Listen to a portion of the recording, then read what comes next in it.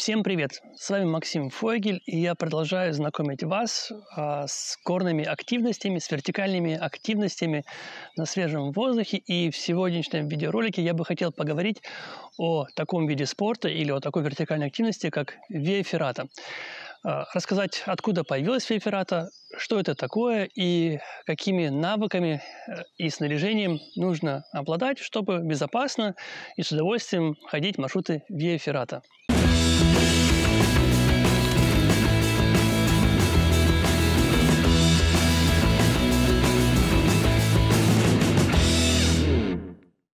Виэферата – это отдельный скальный участок или цельный маршрут, оборудованный вспомогательными и страховочными приспособлениями, обеспечивающими безопасный подъем к вершине или же э, просто на участке туристической тропы. В идеале это серия стальных тросов, а также ряд приспособлений, облегчающих передвижение, как, например, сковы, лестницы, штыри, выдолбленные в скалах уступы, а иногда даже э, подвесные мосты. Название Виэферата пришло к нам из итальянского языка и в дословном переводе означает «дорога из железа».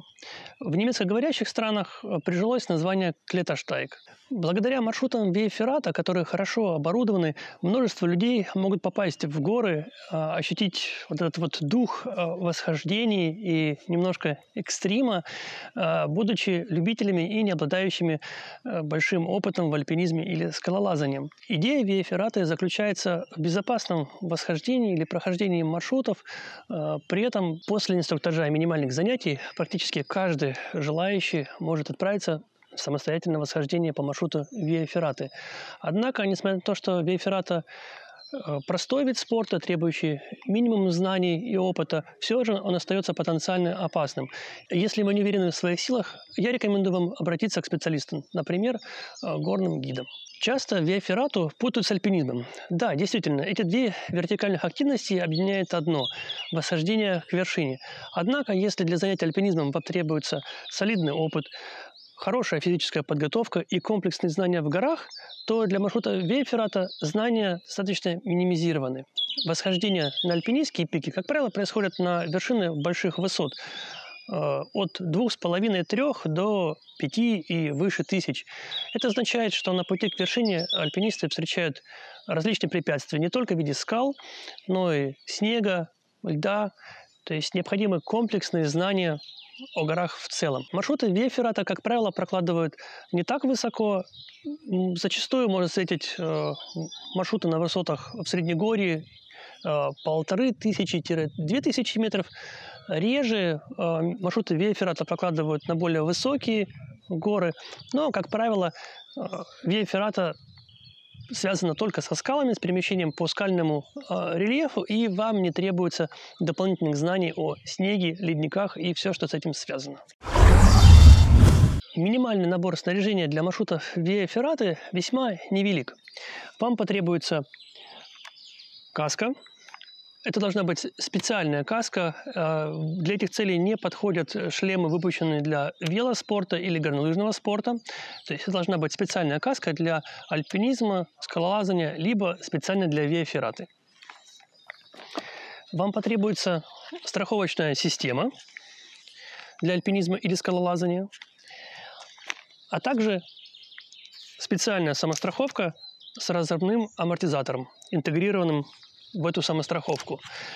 Вот эти три вещи – это абсолютно минимальный набор, который вам необходимо приобрести, чтобы отправиться в безопасное приключение по маршрутам Виафераты. Однако, помимо минимального набора, конечно же, необходимо иметь при себе аптечку первой помощи. Я вам рекомендую всегда на восхождение или путешествие в горах брать небольшой налобный фонарик. И так как прохождение маршрутов Биофераты подразумевает э, хватание использования тросов и металлических скоб, то я вам рекомендую иметь э, кожаные перчатки. Это могут быть абсолютно обычные э, строительные, э, не обязательно спортивные специализированные перчатки. Вот. Если мы говорили о высотах, то стоит учесть э, солнечную радиацию. Э, часто летом в горах на высоте 2500-3000 метров солнце достаточно интенсивное, поэтому я вам рекомендую всегда иметь э, солнечные очки, для защиты глаз. Вот. И, конечно же, солнечный крем. Вот такие пару нехитрых вещей можно взять с собой на восхождение. Вот. И, конечно же, нужно подумать об обуви. Э, для виаферата не нужна специализированная обувь, то есть не, не существует обуви специально для маршрута виафераты. Для этих целей обычно используют либо трекинговые кроссовки, Желательно, чтобы у этих кроссовок была жесткая и устойчивая подошва, вот, либо э, легкий альпинистский ботинок или же тяжелый трекинговый ботинок, что-нибудь наподобие вот э, такой модели вполне подойдут. Э, важно, чтобы обувь была достаточно жесткой, так как подходы к маршрутам могут быть как по удобным и подготовленным тропам, так и по осыпным склонам, каменистым участкам, где обычные кроссовки не самая лучшая обувь. Несмотря на то, что набор минимального снаряжения все же для виафераты небольшой, э, в отдельных случаях могут потребоваться э, дополнительные элементы снаряжения. Допустим, страховочное устройство с карабинами, которое может работать в режиме автоблок. Ну, в данном случае, для примера, у меня реверс от фирмы Petzl. Вот. И э, динамическая веревка для альпинизма или скалолазания. Почему это важно и почему это может пригодиться? Стандартная самостраховка для виафераты рассчитана на пользователя с весом 40-120 килограмм. И, как легко догадаться, для маленьких детей, э, вес которых не достигает 40 килограмм, такая самостраховка не сработает. То есть интегрированная э, разрывная система, амортизатор вот в этом месте просто не разорвется. И в этом случае во время срыва будет слишком большая нагрузка на сорвавшегося человека, э, большой риск получить травмы, не только связанные с падениями ударом о рельеф, но и с тем, что нагрузка на вас, на сорвавшегося человека будет очень большая. Вот. В таких случаях, конечно же, необходима дополнительная страховка, верхняя страховка э, через э, реверс в режиме автоблок с альпинистской веревкой, с динамической веревкой. Также дополнительная страховка может понадобиться новичкам, которые совершают свое первое восхождение в Виафераты и, возможно, окажутся не готовым к каким-то продолжительным вертикальным участкам. А сама процедура перещелкивания на вертикальных участках достаточно трудозатратная. И иногда для облегчения э, устраивают верхнюю страховку. Но объективно, если человеку не приходится перещелкиваться, он меньше времени тратит на прохождение этого участка, меньше устает, ну и, соответственно, с верхней страховкой это безопаснее. Поэтому к минимальному набору снаряжения виаферата я бы рекомендовал иметь веревку и страховочное устройство, которое позволяет работать в режиме автоблок. А, конечно же, вам необходимо уметь пользоваться этим снаряжением и грамотно обеспечить страховку вашему партнеру. Откуда вообще появилась Виа Феррата? Небольшой экскурс в историю. А, наверное, самый первый задокументированный факт э, строительства маршрута Виа Феррата, конечно, тогда это не называлось Виа Феррата, и люди не думали об этих маршрутах, но так или иначе, э, первый задокументированный факт оборудованного маршрута в горах на альпинистскую вершину зафиксирован в 1492 году. Э, французский король Чарльз VIII э, приказал оборудовать подъем на вершину Эгви-Монт, тогда считавшуюся одной из сложнейших, вероятно, и труднодоступных, вспомогательными средствами. Так или иначе, но на этой вершине, на этой горе появился маршрут, оборудованный деревянными лестницами и канатами. Далее, в 1843 году в массиве Дахштайн под руководством Фридриха Зимонда был оборудован маршрут к этой вершине. Задача стояла построить именно туристический маршрут э, к такой известной горе, как Дахштайн. Поэтому многие, особенно в немецкоговорящих странах, в Австрии э, считают, что Виаферата зародилась именно у них и очень гордятся этим фактом. Во время Первой мировой войны Э, в интервале между 914 и 917 годах очень интенсивные боевые действия шли на территории современного Южного Тироля. Противоборствующие стороны, э, чтобы закрепить свои позиции и занять доминирующие высоты, оборудовали подходы к вершинам, к перевалам вспомогательными средствами, теми же тросами и лестницами. После окончания войны многие из этих маршрутов были реконструированы и переоборудованы альпинистским клубом Италии для э, спортивных восхождений. И многими считается именно этот период зарождением маршрутов Виафераты, так как о Виаферате подумали со спортивным аспектом и стали переоборудовать существующие маршруты. В 90-е годы начинается настоящий ферратный бум. Ну, в первую очередь, подход э, к строительству маршрутов изменился. Если раньше старые военные маршруты переоборудовали для спортивных целей, то в 90-е годы маршруты стали прокладывать специально для виэфераты. Однако и снаряжение претерпело ряд изменений. В первую очередь появились специальные самостраховки именно для виэфераты. До этого э, на виэфератах, конечно же, использовали обычное альпинистское снаряжение. Как и любая вертикальная активность, у маршрутов Виэфераты существует своя категория трудности. Точнее, их несколько, и на сегодняшний момент я бы выделил две. Одна – это шкала Хюслера, а, которая используется в нескольких странах и категорируются маршруты от единички самого простого до шестой категории самого сложного. При этом стоит префикс «К», Клеташтайк от немецкого названия Клеташтайк, то есть К1, К2, К3, К4, К5 и К6 самый сложный маршрут. Но э, все же большую популярность имеет э, другая шкала категории трудности. Это шкала категории трудности шаль. Она обозначает маршруты от категории А до категории F. При этом А – это очень простые маршруты, а F, соответственно, самые сложные маршруты виафераты. Ну, чтобы вы могли немножко ориентироваться, на а, маршрутах виафераты категории А вам даже может не потребоваться специального снаряжения. То есть это, в принципе, горные тропы, которые местами очень крутые. Как правило, человек может безопасно проходить такие участки без дополнительной страховки, однако существуют э, все-таки объективные риски упасть с тропы, так как она проходит по крутому отвесу, точнее над отвесом, либо во время дождя или после непогоды э, скалы могут быть мокрые, скользкие, и там начинают оборудовать э, вспомогательные средства. Ступеньки, троса. То есть э, виэфераты категории А даже могут не подразумевать специального снаряжения. Маршруты виэфераты категории Б и С – это наиболее распространенные маршруты этих категорий.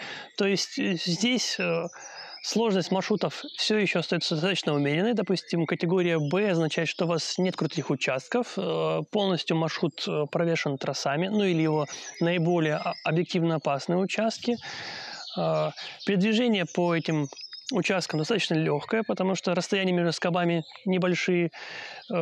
Такие маршруты могут с легкостью преодолеть как дети, так и абсолютно неопытные горовосходители – на категории маршрутов С крутизна увеличивается, то есть все то же самое остается, как и для категории Б. Небольшие расстояния между точками опоры, хорошо оборудованные участки безопасные, однако сам рельеф становится круче.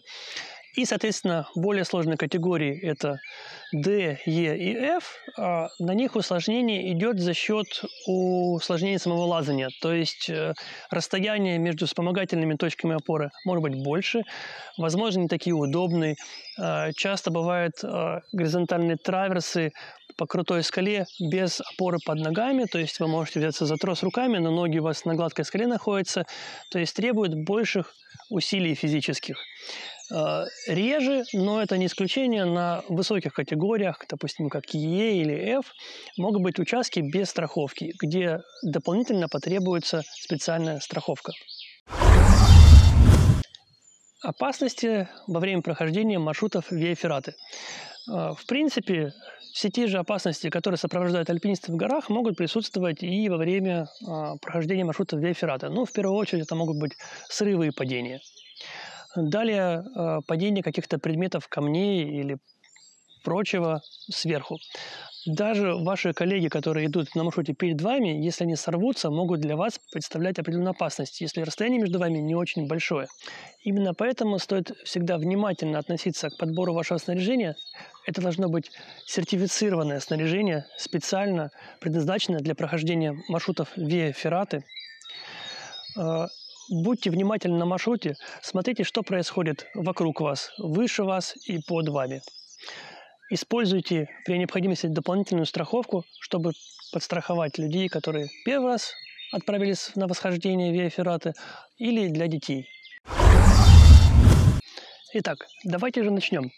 В первую очередь вам необходимо одеть страховочную систему – Как я говорил уже ранее, это может быть э, самая обыкновенная альпинистская либо скалазная страховочная система. Э, обязательно знакомьтесь с инструкцией использования, если вы никогда не держали страховочную систему до этого в руках. Вот. Ну, как правило, она выглядит вот таким образом. У вас есть пояс и две ножные петли. Вот, одевается как штаны или шорты. Соответствующие ножные петли вы просовываете ноги при этом важно смотреть, чтобы страховочный пояс находился на талии. Ни в коем случае ниже талии, потому что в этом случае и центр закрепления, ваш центр масс находится слишком низко, и страховочная система может с вас просто сползти. Поэтому смотрите, чтобы ваша система была на талии, плотно затянута. Не передавливайте себе живот, чтобы вы могли все-таки дышать и свободно двигаться. Однако система должна быть плотно на вас подогнана быть, чтобы вы из нее не выпали, и она у вас во время лазания не соскользнула. Вот. Ножные петли могут быть чуть посвободнее, как вам удобно. Далее каска. Опять же, это может быть абсолютно любая каска, которая сертифицирована для занятий альпинизмом или скалолазанием. Возможно, сейчас есть специальные модели, которые сертифицируются конкретно для виафераты, хотя я в этом не уверен. Однозначно не подходят шлемы, которые используются для велоспорта, водных и горнолыжных видов спорта. Каска также должна быть хорошо подогнана, да, застегнут ремешок, чтобы во время лазания она с вас не слетела. Далее специальная самостраховка. У любой самостраховки для виэферата есть два уса и вот такой вот центральный хлястик, я его называю центральный хлястик. Именно через этот хлястик вы присоединяете вашу самостраховку к страховочной системе. У страховочной системы, как правило, не всегда, но, как правило, есть центральное кольцо, соединительное кольцо ножной и поясной части систем. В это кольцо вы просовываете этот хлястик – и удавкой фиксируете самостраховку вот таким образом. Вот. Это наиболее распространенный и рекомендуемый производителями самостраховок способ прикрепления самостраховочных усов Виафераты к страховочной системе. Карабины для самостраховок Виафераты э, всегда автоматические, ну или, как правило, автоматические. Я на своей памяти никогда не видел э, карабинов, которые надо муфтовать. У них могут быть разные принципы действия. Конкретно вот здесь очень простой механизм. Вытягиваете вниз, и при отпускании он защелкивается. Однако могут быть и э, более сложные варианты, как, например, вот такой карабин, где необходимо вот эту вот часть утопить и пальцем нажать на муфту, чтобы она открылась. То есть более сложный механизм, но с другой стороны и более безопасный. Пусть вас не смущает при выборе или покупке самостраховки, что карабины сильно отличаются. Э, так или иначе, вот такой вот сет, он сертифицирован для рефераты, и все карабины, какой бы формы и видов защелкивания они не были, они все подходят для маршрута виафераты. Почему у самостраховки два уса? Во время передвижения по маршруту э, трос, страховочный трос, к которому прищелкивается наша самостраховка, имеет точки закрепления. Ну, то есть, грубо говоря, перехватывается время от времени. Соответственно, дойдя до такого места, двигаться дальше мы не можем. Если бы у нас был только один у самостраховки, то выщелкивая его, мы остаемся абсолютно незастрахованным на маршруте. И в этом случае падение может быть фатальным. Именно поэтому существуют два уса,